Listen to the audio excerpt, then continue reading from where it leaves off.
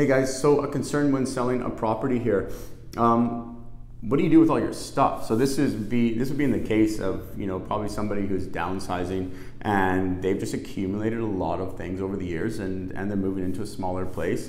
Um, so how do you purge? What do you do with all that stuff? Um, and you know it's a, it's a good question and it can definitely it can definitely be a daunting task. So the good news is that there are companies out there that will help you do just that. And I think they'll go to the extent, I mean, every company might be a little bit different here, so you're gonna have to probably do a little bit of your own research on that. Um, but yeah, some companies will help you declutter just to get the, the property ready for photos and ready for market.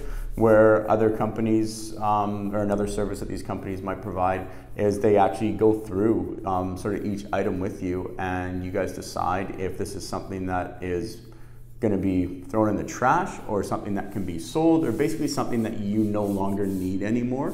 So you can kind of you know streamline things i suppose right? So the good news is uh, you know if you're a little bit hesitant to sell or if you know that that's coming down the road and it just seems really overwhelming because of all the uh, of all the stuff that you have um, there are companies out there that can help you with that. So don't sweat it. Get online. Um, go to Google and search for decluttering companies and things of that nature. I could probably recommend one or two if uh, if necessary, um, but you you can find some help out there. Okay.